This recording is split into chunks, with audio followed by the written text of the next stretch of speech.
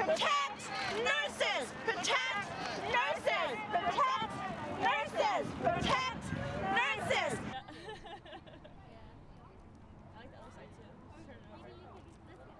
We are demanding from this hospital the protections that we need. Currently, our N95 masks are under lock and key in some units. We actually need to call security to come up and release our personal protective equipment.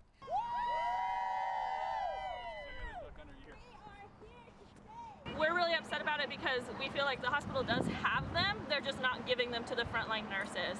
Um, a lot of times we are in emergency situations where we have a patient that's maybe crashing and we have to go and find our leadership team and ask for a nurse when you know every second matters we have to go and we have to go find a mask instead of them just giving us one or having a plan to give us one we have to go find it and justify why we're getting it and um, why we need it before they'll give it to us.